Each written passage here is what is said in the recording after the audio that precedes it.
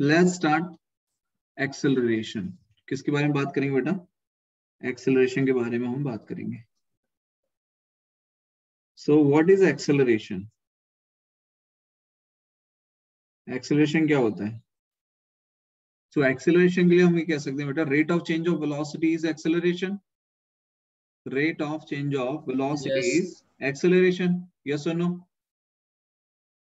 Yes. अब rate of change of velocity with respect to time is acceleration but velocity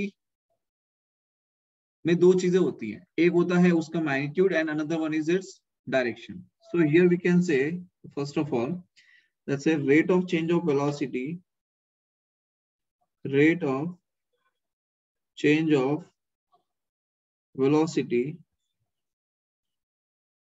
with respect to time rate of change of velocity with respect to time is called rate of change of velocity with respect to time is called acceleration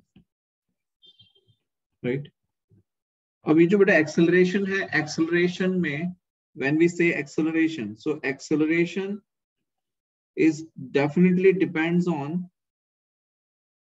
acceleration we can say depends on velocity. But velocity is having two parameters. The one is its magnitude and another one is its direction.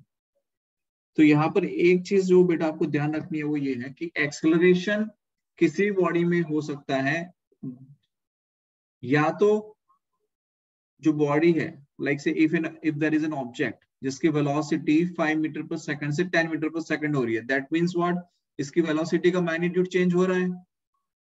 Magnitude of the velocity is changing so we can say when the magnitude of a velocity is changing we can say there is an acceleration in a body yes और no right and if a body is changing its direction if a body is changing it with the if a body is changing its direction एक object है जो move कर रहा है। But वो move करते करते अपना जो डायरेक्शन है वो चेंज कर रहा है। That is also we can say body has an acceleration got it तो दो तरीके Yes. से एक्सेलरेशन हो सकता है। या तो सिर्फ़ मैग्नीट्यूड चेंज हो रहा हो या तो सिर्फ़ मैग्नीट्यूड चेंज हो रहा हो तो हमें एक्सेलरेशन मिलेगा। या सिर्फ़ डायरेक्शन चेंज हो रही हो तो भी एक्सेलरेशन मिलेगा। या फिर magnitude and direction both are changing then in that case only we uh, in that case also we can say acceleration exist karega got it everyone Yes. sir. so Yes, let's say for the accelerated particle we can say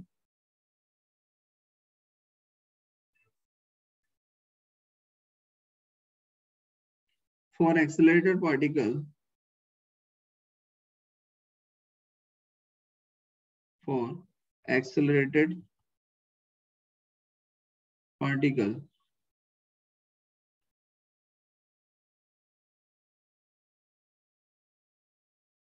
first thing is only magnitude of velocities changes. Only magnitude of velocity changes. Not the direction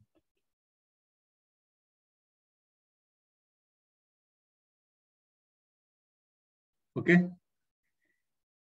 Let's say if there is a straight line and on this straight line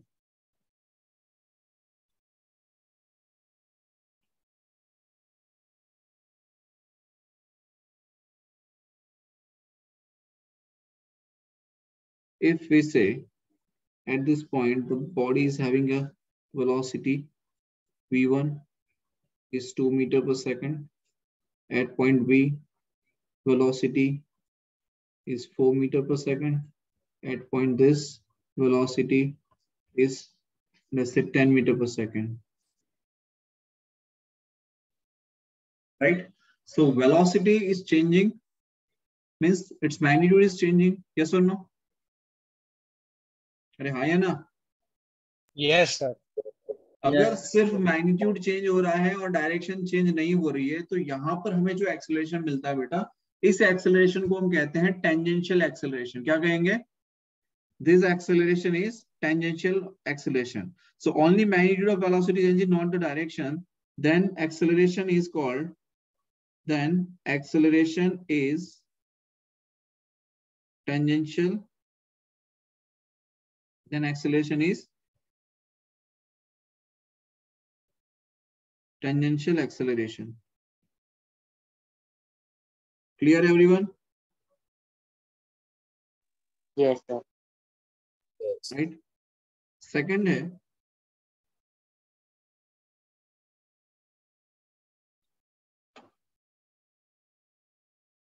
if only direction of velocity changes. Second is if only direction of velocity changes, then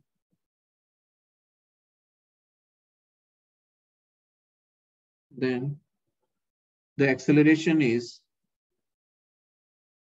then the acceleration is called centripetal acceleration.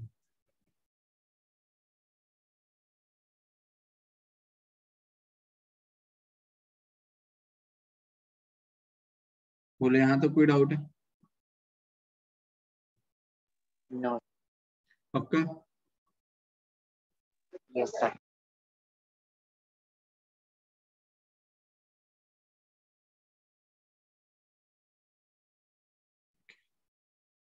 now let's say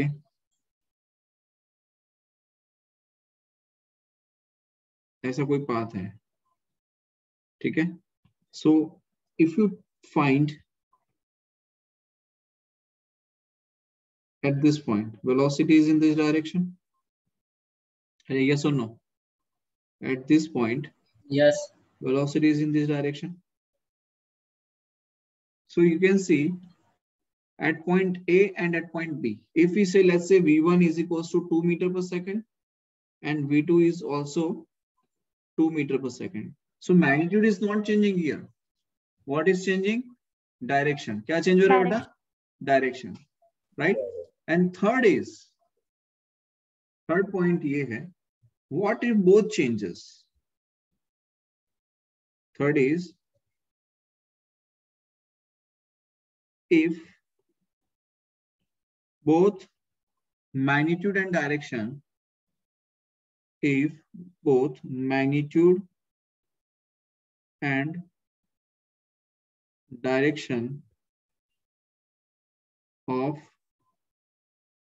if both magnitude and direction of velocity if both magnitude and direction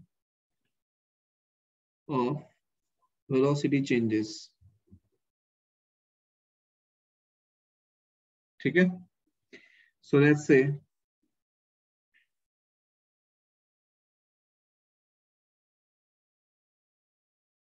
ये कोई बात है। So let's say he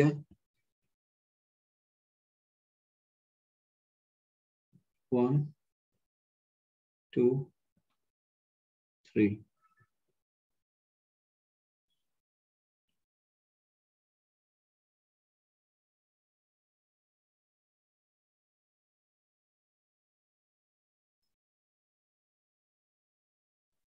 Let's say this is V1, V2, V3. Its magnitude is 2 meter per second, 4 meter per second, 10 meter per second. So when direction and magnitude both changes, then the acceleration is centripetal, then the tangential and centripetal. Dono acceleration ek saath. Then we can say if both magnitude and direction of velocity uh, of velocity changes then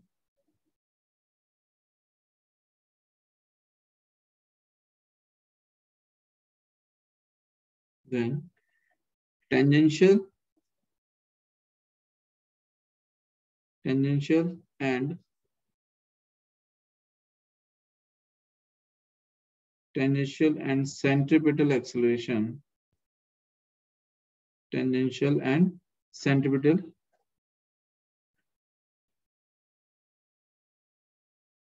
centripetal acceleration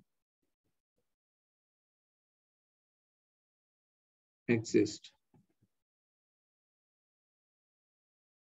Clear? Yes. So so, अगर सिर्फ़ magnitude change हो रहा था बेटा तो tangential acceleration मिल रहा था सिर्फ़ डायरेक्शन चेंज हो रही थी तो सेंटिपिटल एक्सेलरेशन मिल रहा था and third magnitude and direction both changes then tangential and centripetal acceleration दोनों मिलेंगे बोलो आई बात समझ में. Yes, sir. sir. सर एक बार पीछे वाली स्लाइड देख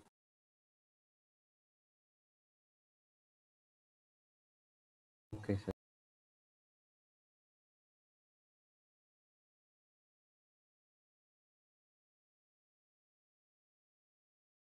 now let's say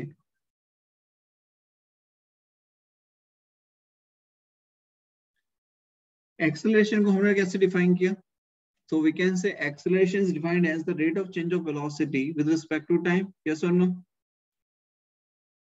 अरे हाँ या ना Yes, sir. Yes, sir.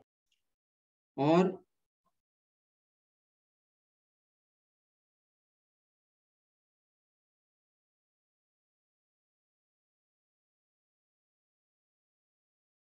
Let's say पहले हम बात कर लेते हैं tangential acceleration and centripetal acceleration के बारे में। उसके बाद हम एवरेज एक्सेलरेशन और इंस्टेंटेनियस एक्सेलरेशन के बारे में बात करेंगे, ठीक so let's say tangential acceleration is let's say a1 and a2 is the tangential acceleration we have क्या ले सकते हैं?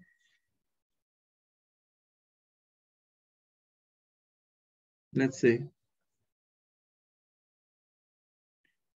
tangential acceleration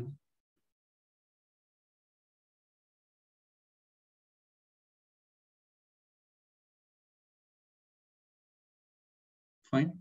So in the tangential acceleration we know that it is this tangential acceleration we get on the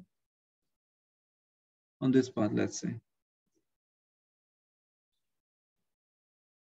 So if we say when the magnitude is changing so let's say v1 is 4 i cap. And let's say here the V2 is 10 i cap. V1 is 4 i cap and V2 is 10 i cap. So here you can see at t equals to 0 time पर हमें acceleration मिल रहा है a t one time at 0 second velocity of the body is v1 at t2 that means at t2 t2 time per. At t2 time per velocity uh, at t2 time after 2 second velocity kitni ho rahi 10 i right? So what we can say the acceleration is acceleration is what? V final minus v initial or you can say v2 minus v1 by t2 minus t1 यही होता है yes or no Yes. अरे हाँ या ना sir. change in velocity by change in time basic formula 9th Yes, sir. standard में पढ़ा होगा आपने right so we can say acceleration is equals to v2 minus v1 by t2 minus t1 so here v2 is what it is 10 i cap and v1 is it is 4 i cap t2 is 2 and t1 is 0 so 10 minus 4 to 6 6 by 2 3 i cap so acceleration is acceleration is 3 cap yes or no Yes, sir. Yes, sir. Yes. right yes. now if we say let's say second case we have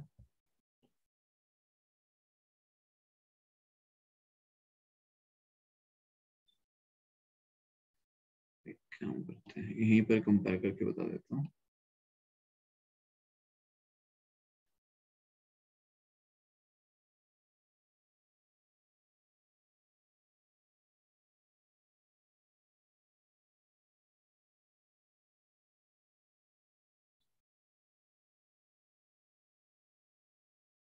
let's say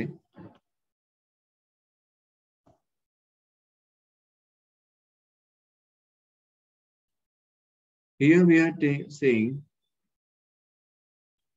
second case है बेटा ठीक है तो v1 is let's say at t equals to zero time पर at t equals to zero time पर velocity कितनी है at t equals to zero time पे velocity is 10 i cap and at after time 2 second this is t1 time this is t2 time so after t2 time पर means after 2 second velocity है two आई cap velocity कितनी है two i cap yes so acceleration is acceleration is v2 minus v1 by t2 minus t1 अरे हाँ है ना so velocity v2 is 2 i cap v1 is Yes. 10 i cap and t2 minus t1 means 2 minus 0 so 2 minus 10 that is minus 8 i cap minus 8 i cap by 2 So we can say it is minus 4 i cap. Yes or no? Yes, Yes, sir. sir. So let's say this is minus 4 i cap. Now from this, definitely you can understand the direction.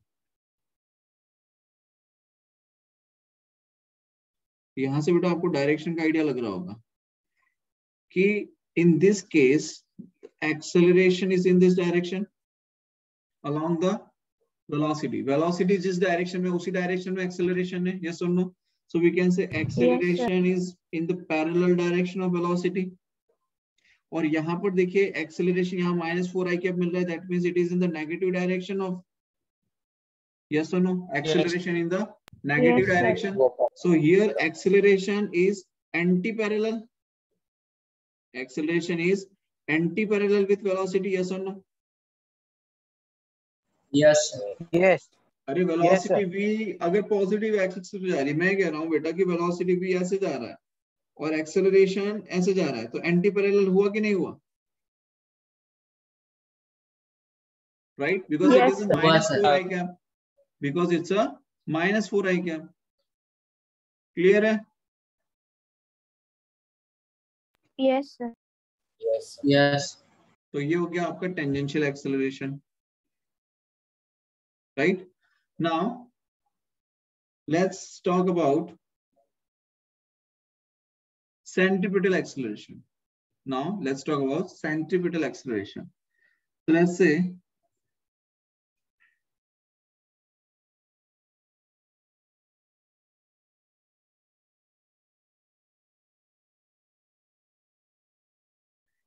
let's take centripetal तो centripetal acceleration बेटा कब मिलता है हमें?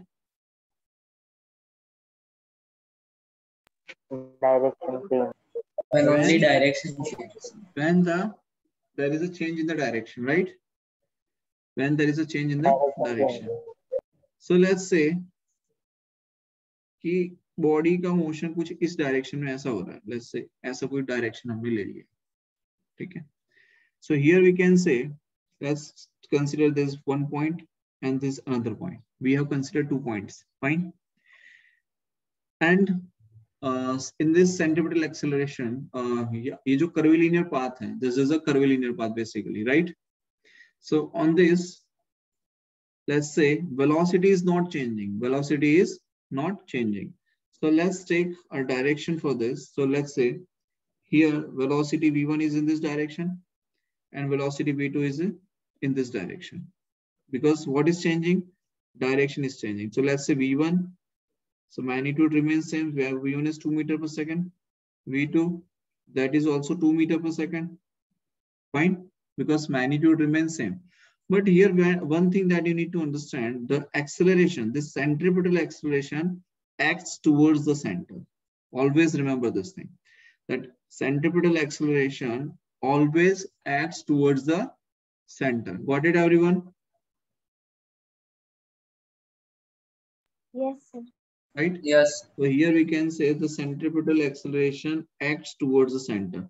And this centripetal acceleration और velocity के बीच में बनने वाला जो angle है वो कितना होता है 90 डिग्री कितना होता है 90 90 तो you can see velocity 90 and degree. Centripetal acceleration के बीच में एंगल कितना आ रहा है 90 degree so From here, we can say 90. that centripetal acceleration is always perpendicular to the velocity.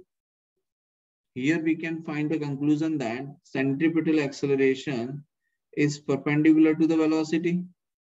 Yes or no? Or here we can yes, say sir. that centripetal acceleration is also, we can say, rate of change of velocity by the time. dv by dt. high enough. Yes. Why? Because we are finding this centripetal acceleration at any instant of time. At any instant of time, uh, velocity is constant in terms of magnitude, but direction is changing. But direction is changing. Got it? Because we are finding this acceleration for any instant. Let's for let's say for this instant. For this instant, the direction is in this direction. So it is basically we can say instantaneous velocity we are getting. Let's say if this point Yes. is A and if this point is B. So at point A and point B, both have the instantaneous yeah. velocities. Are yes, yes or yes no? sir Right? कोई कोई doubt है यहाँ तक किसी को No, sir. no sir कोई doubt नहीं है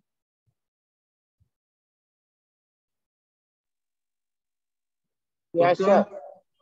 अरे हाँ है ना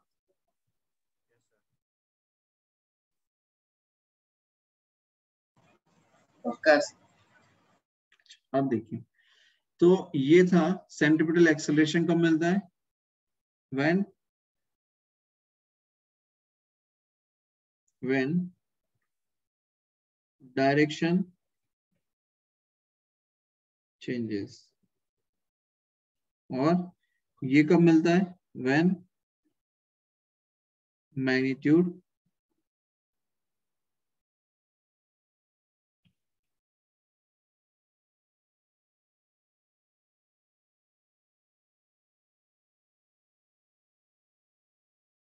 only magnitude changes. ठीक? और जब दोनों बदलेंगे तब?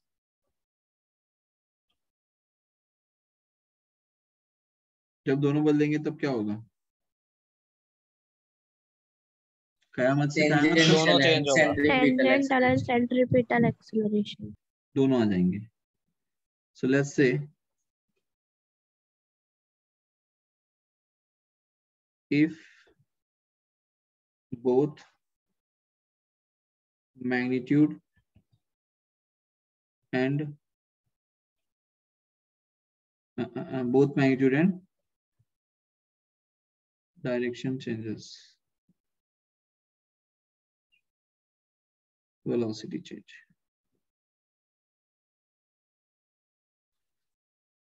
let's say ये कोई हमने पाथ ले लिया है fine now on this path if we say the velocity the magnitude and direction दोनों change हो रहा है fine so we will get centripetal and tangential both so let's say कि ये हमने ले लिया जिसका magnitude direction दोनों change हो रहा है so let's say this is velocity v this is velocity v and we know that कि जब अगर magnitude change होता है तो direction of acceleration is also in the direction of velocity so we can say कि इसी direction में क्या हमें tangential acceleration मिलेगा? अरे yes or no? जिस डायरेक्शन में बेटा वेलोसिटी है क्या उसी डायरेक्शन में टेंजेंशियल एक्सेलरेशन मिलेगा हमें? Yes. है रिपीट करा ना। नहीं यार। सर एंटी पैरेलल भी तो हो सकता देखो यहाँ पे। यहाँ पर अब क्या हो रहा है कि at this point if the direction is changing then if the direction is changing then can we say it's a centripetal acceleration बेटा अरे हाँ या ना Yes, sir. Yes sir So now the angle between them, angle कितना आ रहा है? 90. 90 Angle का कितना आ रहा है? 90 सर अब आप समझिए कि tangential acceleration and centripetal acceleration tangential acceleration and centripetal acceleration इसका रिजल्टेंट अगर आपको निकालना है तो रिजल्टेंट कहाँ मिलेगा बेटा हमें? लेट्स से ये रिजल्टेंट मिलेगा हमें। यस और no 45 degree. At 45 degree. This is net acceleration क्या यहाँ तक किसी को कोई डाउट है?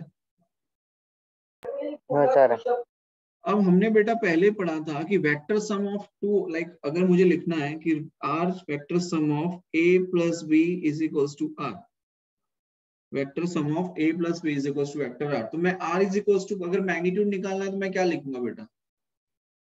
अगर मुझे आर को मैग्नीट्यूड में रखना है तो मैं क्या बोलूँगा? Root A square plus root A square plus B square under root of square root of A square plus B square plus two A B cos theta yes yes sir तो यहाँ पर भी क्या हम यही कहेंगे कि यहाँ पर हमें नेट एक्सेलरेशन लिखना है। So we can say the net acceleration is net acceleration can be written as at vector sum of tangential acceleration plus centripetal acceleration अरे नेट एक्सेलरेशन को क्या हम क्या लिख सकते हैं? Vector sum of net acceleration को हम क्या लिखेंगे?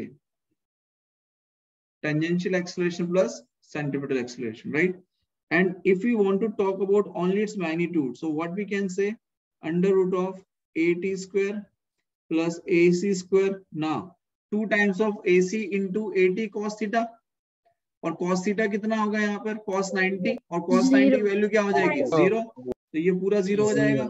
अरे हाँ है ना? Yes sir A. Plus net acceleration हमें क्या मिल जाएगा? तो नेट एक्सेलरेशन हमें मिलेगा बेटा square root of A T square plus A C square बोलो यहाँ तक कोई डाउट है किसी को? नो सर नो सर ये हमें मिल गया नेट एक्सेलरेशन बोलिए। Anyone has any doubt No, sir. Explain करो ना सर नेट एक्सेलरेशन देख।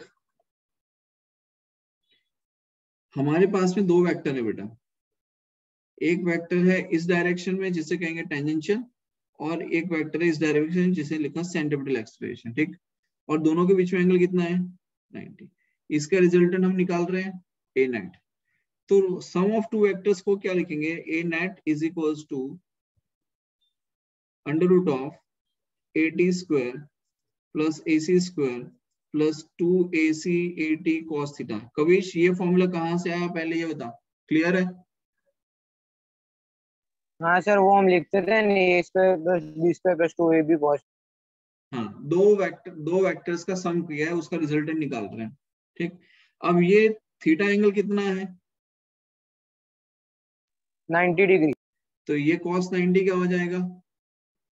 ज़ीरो तो नेट एक्सेलरेशन क्या आ जाएगा?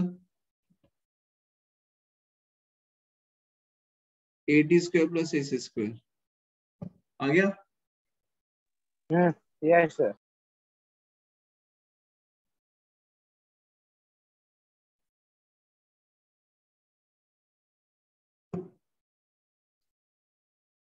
now let's talk about now let's talk about average acceleration and instantaneous acceleration fine बहुत ज़्यादा कोई फ़र्क नहीं है देखिए अ, मतलब कि जो एवरेज वेलोसिटी और इंस्टेंटेनियस वेलोसिटी पड़ा वैसा ही कुछ कुछ हमें एक्सेलरेशन में लेना है। So let's say if you talk about acceleration तो एक्सेलरेशन क्या हो जाएगा बेटा? एवरेज एक्सेलरेशन क्या होगा?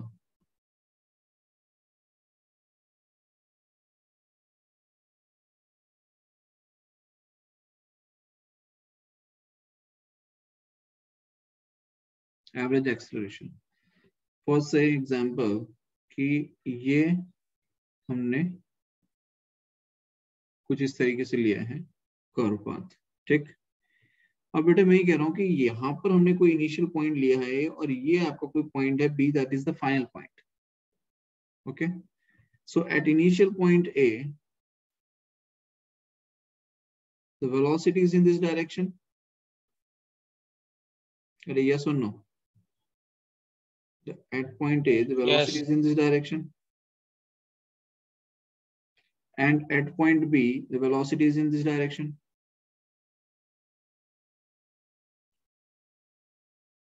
बोलो, यहाँ तक समझ में आया? Now if you want to find the average of this तो सबसे पहले तो काम करते हैं बेटा, इसको ना थोड़ा सा एक्सटेंड करते हैं. Let's say let's extend this as well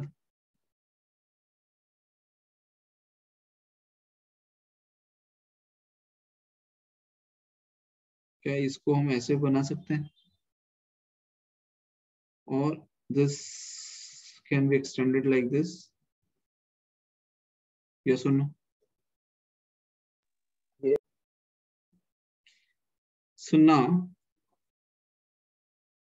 अगर इस पॉइंट पे दोनों कोलाइड कर रहे हैं तो let's say this is the V final this is V final yes or no? And this is v initial we know that this is v final and this is v initial now the direction of v initial भाई v initial की direction क्या है ये है v initial आपका this is v initial yes or no but if you want to find the change uh, if you want to find a change like if i say कि मुझे करना है average acceleration is equals to final plus minus of initial समझ में आ रहा है तो मुझे क्या vi को माइनस करने के लिए उसकी डायरेक्शन चेंज करनी पड़ेगी। अरे हाँ या ना? सर एक बार और बताओ हाँ बताता हूँ जस्ट मिनट मैं सिर्फ़ ये कह रहा हूँ बेटा ये भी इनिशियल की डायरेक्शन है। This the direction of initial अब यहाँ पर समझिए बेटा कि अगर मैं ये ले रहा हूँ तो तो ये भी इनिशियल की डायरेक्शन है राइट लेकिन अगर मुझे माइनस भी ही करना है तो वी आई करना है तो क्या करना पड़ेगा? उससे ऑपोजिट डायरेक्शन ये लेनी पड़ेगी। तो ये माइनस वी आई होगा। यस और नो यस सर तो हम क्या लिख सकते हैं? That average acceleration is equals to average acceleration is equals to V final जिसमें हमने ऐड किया किया। माइनस ऑफ़ वी इनिशियल अरे यस और no divide by final time minus initial time भाई ये किसी इनिशियल टाइम पे वेलोसिटी होगी और ये किसी फाइनल टाइम पे वेलोसिटी होगी बोलो।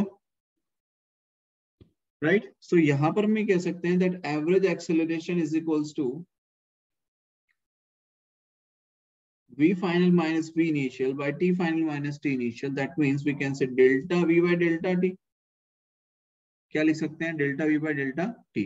And if you want to find its magnitude only अगर आपको सिर्फ़ और सिर्फ़ मैग्नीट्यूड निकालना है तो you can put them in a mod आप ऐसे मोड में डाल दो इसको delta V by delta T बोलो क्लियर है यहाँ तक? अरे हाँ या ना? यस सर पक्का?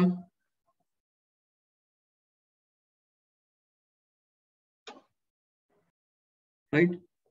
Or you can say that average acceleration and velocity इन दोनों की डायरेक्शन सेम होनी चाहिए। चेंज इन वेलोसिटी की जो डायरेक्शन आएगी, क्या वही आपका एवरेज एक्सेलरेशन की डायरेक्शन आएगी बेटा? यस और नो अब अब एक बात बताओ मेरे को कि भाई, यहाँ पे समझो। ये आपने वी फाइनल लिया, ये आपने माइनस वी इनिशियल लिया। ठीक? तो change in velocity V final minus V initial क्या लाएँगे? इसका रिजल्टेंट कहाँ आएगा? चलो बताओ। इसका रिजल्टेंट कहाँ आएगा? कहाँ यहीं पर कहीं आएगा डायगनली इस पे? Yes. तो एक्सेलरेशन yes. भी तो वहीं आएगा। अरे उसी डायरेक्शन में आएगा एक्सेलरेशन हाँ या ना? यस सर यस सर समझ में आई बात? सर यस सर एक्सेलरेशन उस डायरेक्शन में कैसे आएगा वो बताओ ना फिर से। मैं ये कह रहा हूँ बेटा कि यहाँ पर एक पॉइंट है। इस पॉइंट पे हमने ये दो ले लिए कि चलो ये पी फाइनल है और ये माइनस पी इनिशियल है। तो हमें तो क्या चाहिए होता है? चेंज इन वेलोसिटी तो चेंज इन वेलोसिटी है क्या? V final minus V initial है। यस और नो तो माइनस बी इनिशियल की डायरेक्शन ये डाउनवर्ड है और ये इधर है वी फाइनल अब आपको इसका रिजल्टेंट निकालना है बेटा। तो रिजल्टेंट तो यहाँ पर ही आएगा डायगोनल पे। यस बात आई समझ में? हाँ सर तो जो डायरेक्शन चेंज इन वेलोसिटी की होगी क्या उसी डायरेक्शन में एक्सेलरेशन मिलेगा हमें? अभी देखा हमने थोड़ी देर पहले कि अगर डायरेक्शन चेंज होती है तो एक्सेलरेशन टुवर्ड्स द सेंटर मिलता है जिसे हम सेंट्रिपिटल एक्सेलरेशन कहते हैं। यस और नो अरे हाँ या ना? यस सर यस सर बोलो कोई डाउट है किसी को यहाँ पे?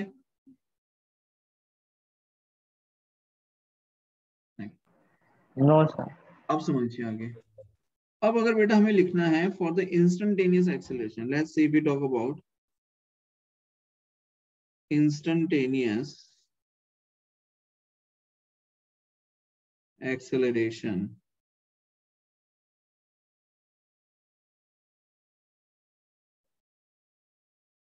ठीक। तो इंस्टेंटेनियस एक्सेलरेशन क्या आएगा? So let's say acceleration is equals to for the instantaneous acceleration. अब instantaneous का मतलब ये होता है किसी point of time पे हम acceleration find कर रहे हैं। लेट्स से हमारे पास में बेटा एवरेज एक्सेलरेशन क्या है? सबसे पहले वो समझो। एवरेज एक्सेलरेशन को हम लिखते हैं बेटा delta V by delta T क्या लिख रहे हैं? Delta V by delta T इसका मतलब सर्टेन टाइम पीरियड में सर्टेन वेलोसिटी का चेंज हुआ। लेकिन अगर मैं ये कहूँ कि किसी पॉइंट ऑफ़ टाइम पर आपको एक्सेलरेशन फाइंड करना है तो पॉइंट ऑफ़ टाइम पर अगर आपको फाइंड करना है दैट मीन ये जो टाइम इंटरवल जो है उसको हमें क्या करना पड़ेगा? मिनिमाइज करना पड़ेगा? तो वी कैन से टाइम को हम ज़ीरो तो नहीं कर सकते लेकिन टाइम को हम zero point zero zero zero zero zero one कर सकते हैं। यस और नो तो यहाँ पर बेटा Yes, मैं ये कहूँगा कि ये जो एक्सेलरेशन है if you want to find the instantaneous acceleration so we can say limit लगा देते हैं। Delta T tends to zero limit delta T tends to zero delta V by delta T delta V by delta T right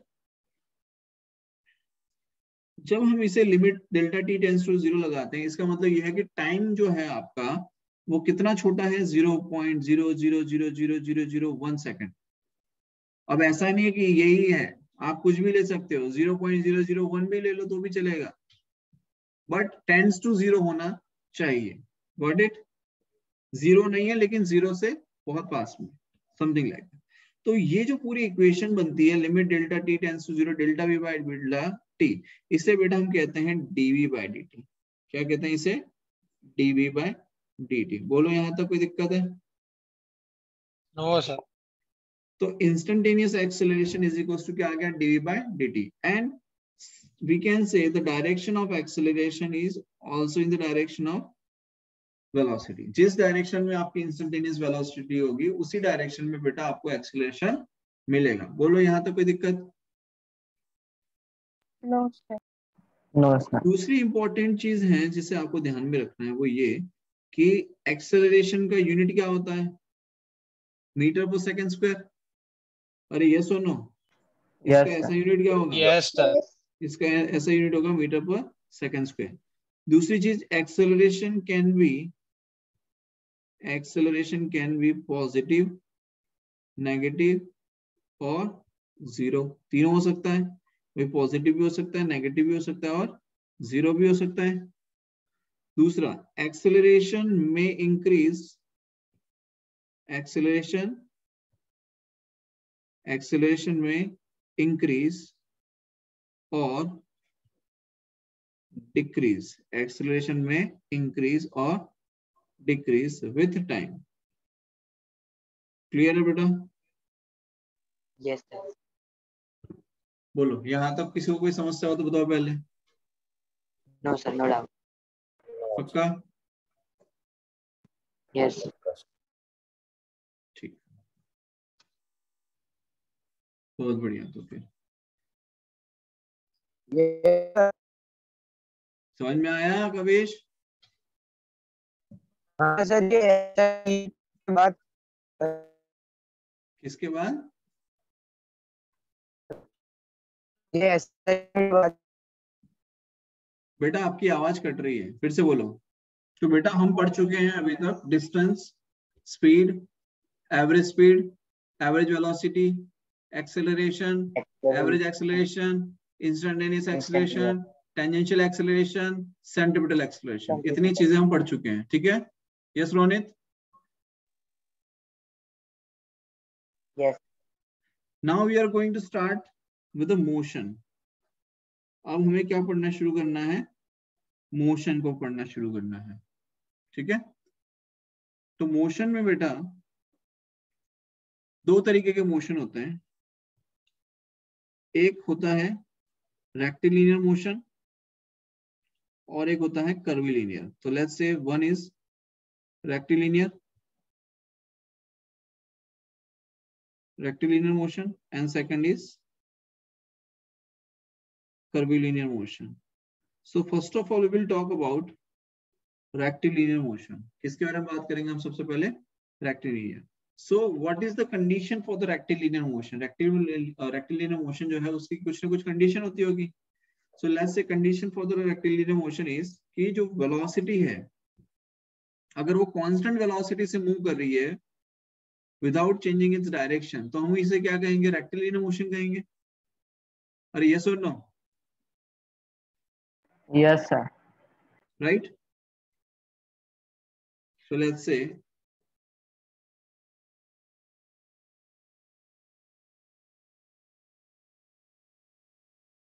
condition for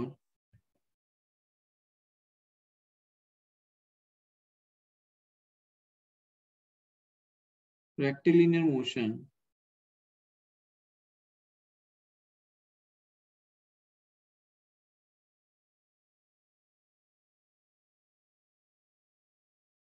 जिसमें पहले लिखेंगे first is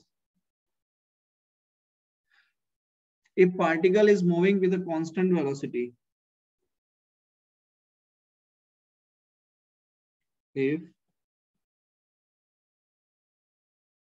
particle is moving with constant velocity. If particle is moving with constant velocity. For example, let's take one straight path. एक straight line हम path ले लिया हमने, ठीक है? And on this path, let's say at this point, velocity is v. At this path is this point, velocity is v, and at this point, velocity is v.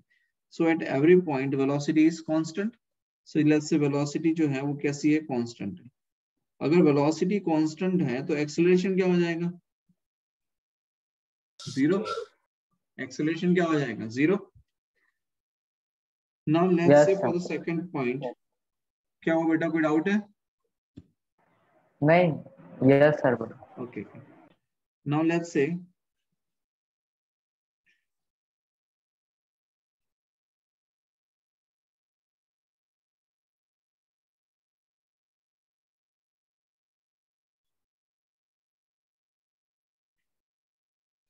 Second condition है if only if only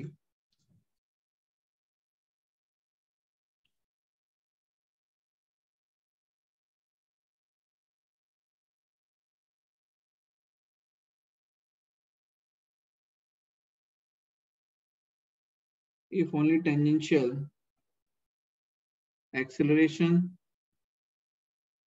acts on particle if only tangential acceleration acts on a particle then tangential acceleration बेटा जब act करता है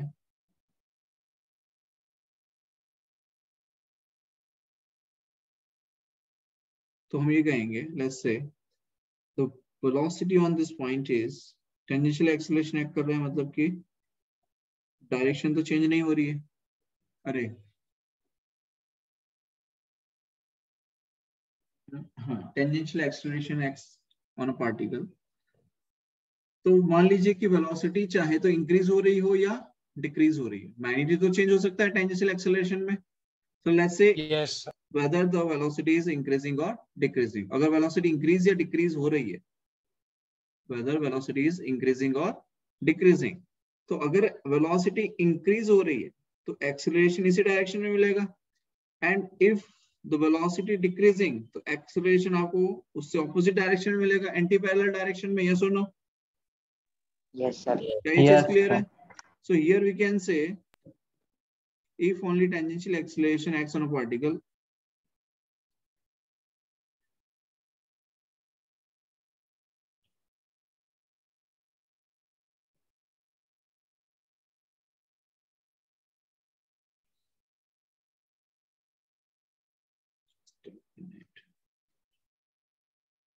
if velocity is parallel or anti-parallel with acceleration क्या इस condition में भी motion body का रेक्टिलिनियर ही होगा स्ट्रेट लाइन पे ही होगा अरे हाँ या ना यस सर यस बेटा मैं ये कह रहा हूँ कि चाहे बॉडी एक्सलेट कर रही हो या डी एक्सलेट कर रही हो बट वेलोसिटी से पैरेलल हो। जैसे ये इस डायरेक्शन में जा रहा है और ये इस डायरेक्शन में जा रहा है। तो वेलोसिटी एंड एक्सेलरेशन दोनों सेम डायरेक्शन में है मतलब कि पैरेलल हो गए। वेलोसिटी और एक्सेलरेशन ऑपोजिट डायरेक्शन में है तो एंटी पैरेलल हो गया। लेकिन है तो एक ही डायरेक्शन में। भाई है तो एक ही स्ट्रेट लाइन पे ही है बेटा दोनों चीज़ें। Yes or no Yes.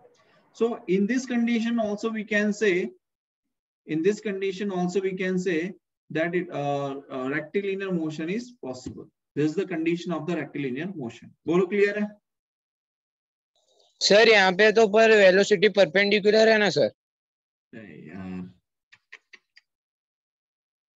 हम्म, ये इंक्रीज हो रही है कहाँ परपेंडिकुलर है भाई बता कहाँ पर पेंडिकुलर है मेरे भाई? बता जल्दी से। सर वो आपने ऊपर वाला एरो किया है तो मुझे लगा कि 90 डिग्री होगा। हम्म तेरे को पता ही नहीं क्या ही लगता रहता है। वेलोसिटी इंक्रीजेस और यहाँ हाँ, sir, आप वेलोसिटी डिक्रीजेस जब बोल रहा होता तब तेरा ध्यान कहाँ होता है?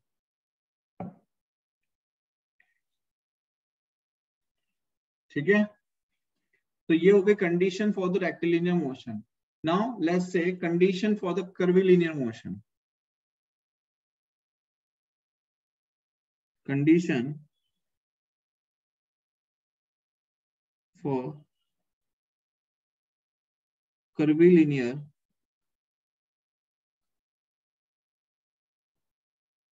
motion. तो क्या कंडीशन होती है कर्विलिनियर के लिए?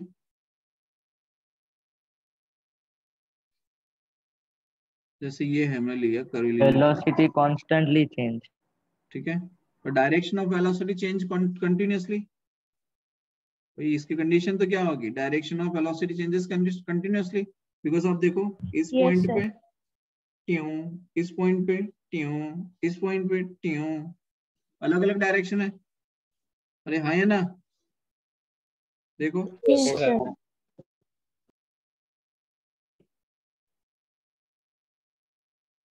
देखो। One two three at every point it has different direction?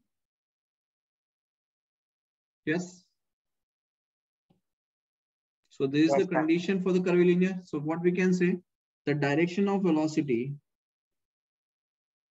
direction of velocity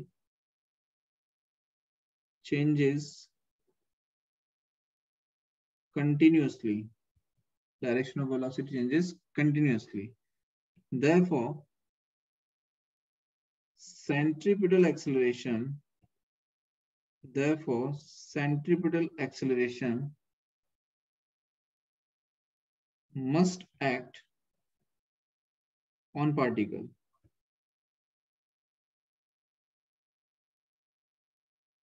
ठीक है अब यहाँ पे क्या है कि इस कंडीशन में, इस कंडीशन में centripetal acceleration is acting towards the centre ये तो है ही। It act towards the centre centripetal centripetal acceleration act towards the centre यहाँ पर टेंजेंशियल एक्सलेशन मे और मे नॉट एग्जिस्ट मतलब कि हो सकता है कि टेंजेंशियल एक्सोलेशन इसमें हो, ना भी हो। दोनों पॉसिबिलिटी है। लेकिन सेंट्रीपिटल एक्सलेशन तो होगा ही होगा। बात आई समझ में बेटा? एक्सलरेशन टेंजेंशियल एक्सलरेशन हो भी सकता है right right?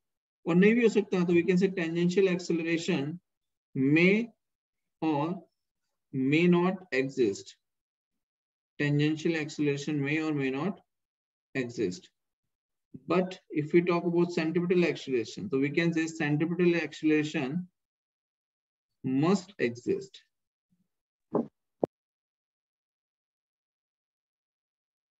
Centripetal acceleration must exist.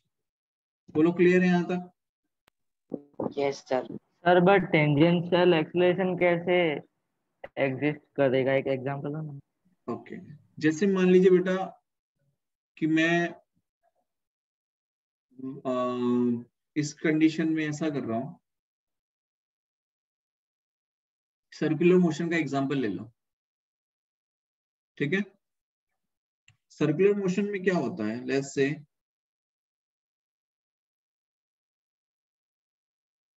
ये ले लिया मैंने। ठीक है? इस पॉइंट पे। अब एक चीज़ तो क्लियर है कि अगर ये यहाँ पर एक बॉल मैंने अटैच किया हुआ है और ये बॉल को आप अगर घुमा रहे हैं गोल गोल राइट तो सेंटर की तरफ़ सेंट्रिपिटल एक्सलेशन तो एक्ट करेगा ये तो श्योर है। Yes yes sir. बट अगर आप यहाँ पर देखें अगर इसका मैग्नीट्यूड आप चेंज करते रहें तो क्या उसी पॉइंट्स पे आपको टेंजेंशियल एक्सीलरेशन भी मिल सकता है? यस बस तो एग्जिस्ट कर सकता है। अगर आपने मैग्नीट्यूड को चेंज नहीं किया तो सिर्फ़ सेंट्रिपिटल मिलेगा। और अगर आपने मैग्नीट्यूड को भी चेंज किया तो सेंट्रिपिटल और टेंजेंशियल दोनों मिल रहे हैं। बोलो। कांस्टेंट से। सेम पॉइंट पे अलग अलग वेलोसिटीज आ रही है ऐसे कह रहे हो yes we can say that.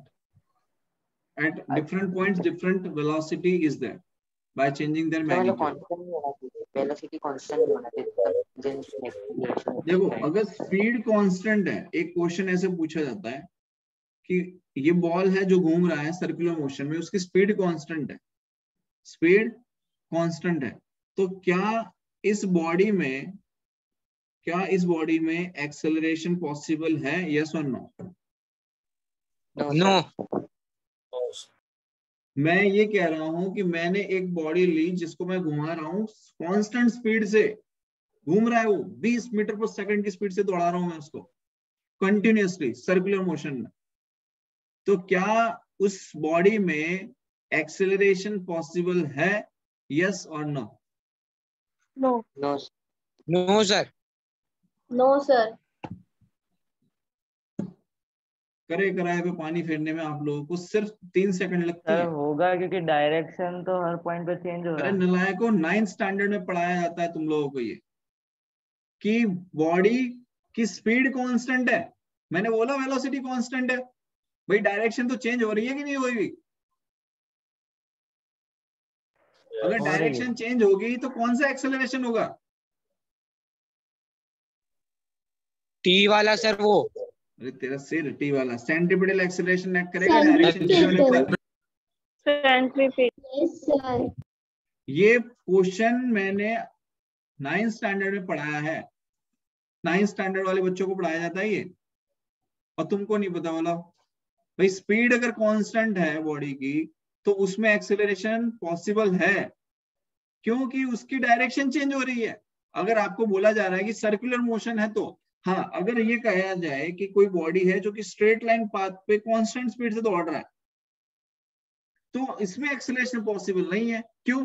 क्योंकि उसकी डायरेक्शन थोड़ी ना चेंज हो रही है एक्सेलरेशन होने की दो कंडीशन होती है बेटा हमेशा याद रखिए।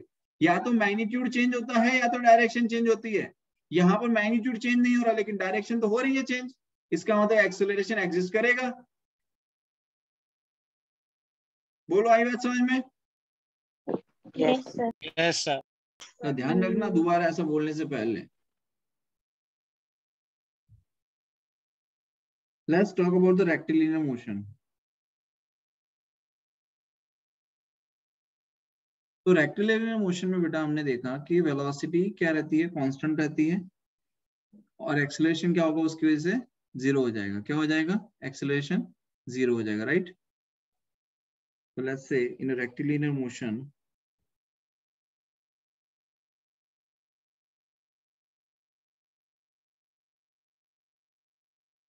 पहला हमने पढ़ा कि velocity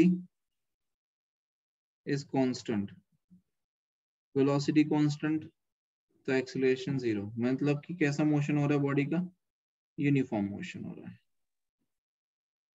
Second is if the angle between velocity and acceleration is either 0 or 180 degree during the motion तो acceleration क्या होगा ज़ीरो तो नहीं होगा ये कंफर्म हो जाता है if angle between velocity and acceleration if angle between velocity and acceleration is either zero either zero or 180 degree during motion तो एक्सेलरेशन क्या हो जाएगा? ज़ीरो नहीं होगा, ये तो कंफर्म है। मतलब कि एक्सेलरेशन एक्सिस्ट मतलब कि एक्सेलरेशन एक्सिस्ट एंड वेलोसिटी क्या हो रही होगी? चेंज हो रही होगी। ये भी कंफर्म है। अरे हाँ या ना? तो ये बात. हुई यूनिफॉर्म मोशन के बारे में। Now let's say for the non uniform motion. Now let's say for the non uniform motion. अब नॉन यूनिफॉर्म मोशन के अंदर क्या हो सकता है? कि एक्सेलरेशन जो है नॉन यूनिफॉर्म मोशन के अंदर एक होता है constant acceleration let's say non uniform motion का मतलब होता है कि एक्सेलरेशन है। तो let's say acceleration is constant एक तो ये हो जाता है। और दूसरा है कि एक्सेलरेशन वेरी कर रहा है। एक क्या हो गया? एक्सेलरेशन कांस्टेंट दूसरा है एक्सेलरेशन वेरी करेगा। अगर यूनिफॉर्मली एक्सेलरेटेड मोशन है यूनिफॉर्मली एक्सेलरेटेड मोशन है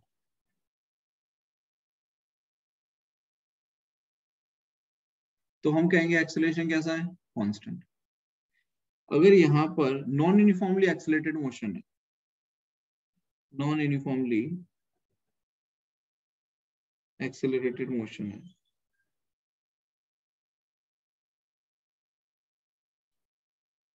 तो भी एक्सेलरेशन है बॉडी में। ये सुनो अरे हाँ या ना? यस सर तो ये दो तरीके से बेटा एक्सेलरेशन पॉसिबल है। एक कि यूनिफॉर्मली एक्सेलरेट हो रहा है और दूसरा नॉन यूनिफॉर्मली एक्सेलरेट हो रहा है। हो तो रहा है, दोनों में एक्सेलरेशन हो रहा है, ठीक है? यहाँ तक क्लियर है? अब यहाँ पर एक चीज़ समझो कि जब भी अब हम आपको यहाँ पर स्पीड डिस्प्लेसमेंट वेलोसिटी एक्सेलरेशन ये सब जब बातें होती हैं, उस टाइम पर हमें दो चीज़ों का ध्यान रखना होता है। सबसे पहले इंपॉर्टेंट चीज़ है जिसका आपको ध्यान रखना है, वो है साइन कन्वेंशन किसका ध्यान रखना है? Sign convention sign convention that means कि let's say if you are taking this and this if a body is moving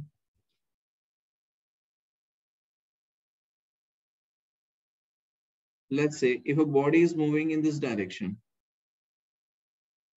with velocity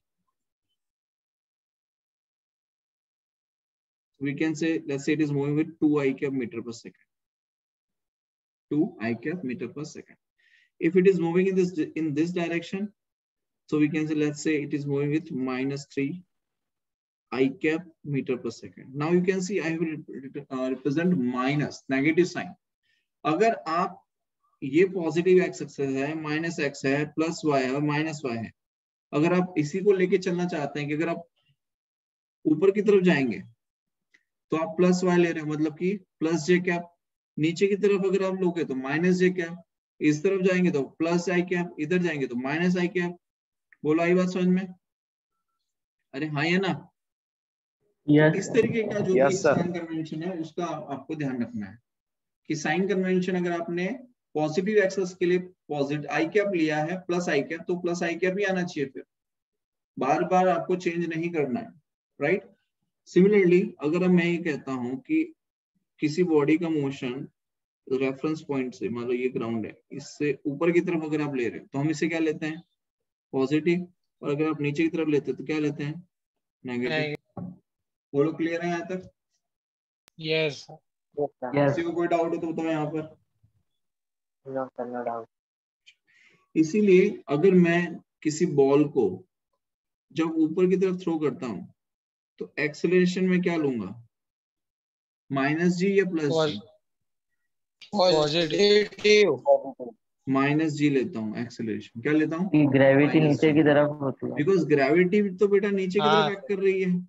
और नीचे की तरफ़ ग्रेविटी तो पॉजिटिवली जाती है ना? समझ में आया? यस सर अगर Yes, मान लीजिए कोई बॉल डाउनवर्ड डायरेक्शन में जा रहा है तो एक्सेलरेशन हम क्या लिखेंगे? प्लस जी लिखेंगे। समझ में आया? Yes sir. यहाँ तक कोई डाउट हो तो बताओ पहले। नो सर नो सर ठीक। चलो आज यहीं तक रखते हैं बेटा। अब इससे आगे हम कल देखेंगे। ठीक है?